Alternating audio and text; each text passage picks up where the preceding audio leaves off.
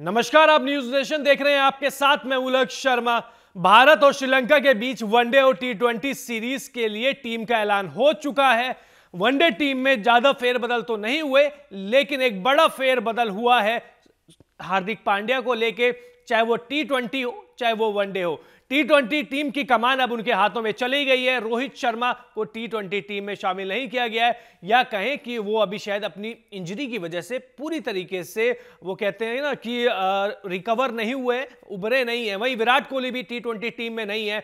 हार्दिक पांड्या को T twenty team की कप्तानी मिली है सूर्य कुमार यादव, यानी सूर्या भाव अब इस टीम के टी टीम के वाइस कैप्टन होंगे।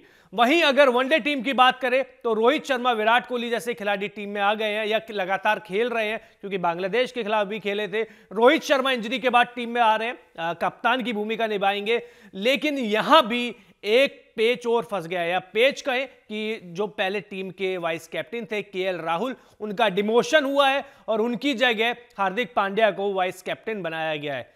यही नहीं जो टीम को साल 2022 में टीम की सबसे ज़्यादा कप्तानी करने वाले शिखर धवन को भी टीम से बाहर कर दिया गया है। खराब फॉर्म का नतीजा उनका टीम से बाहर होना रहा, जिसकी वजह से चयनकर्ताओं को यह फैसला लेना पड़ा। क्योंकि अगर शिखर धवन का प्रदर्शन देखें, बांग्लादेश के खिलाफ भी प्रदर्शन देखें तो एक बार भी दहाई का आंकड़ा, यानी 10 से ज़्यादा रन कभी नहीं बना पाए, उसका आंकड़ा भी नहीं छू पाए थे।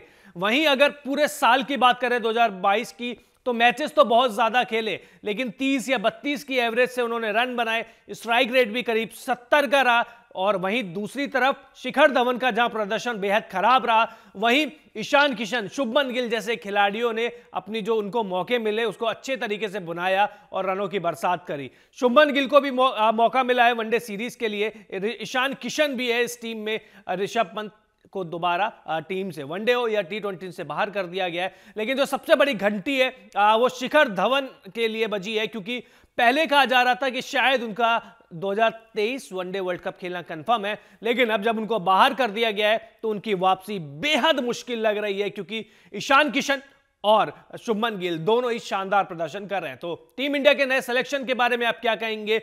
शिखर धवन के बारे में आप क्या कहेंगे? क्या वो वापसी कर पाएँगे? कमेंट बॉक्स में ज़रूर लिखिए। इसके अलावा आपने न्यूज़ नेशन को सब्सक्राइब नहीं किया है तो जल्द से जल्द कर लीजिए। बहुत बहुत शुक्रिया।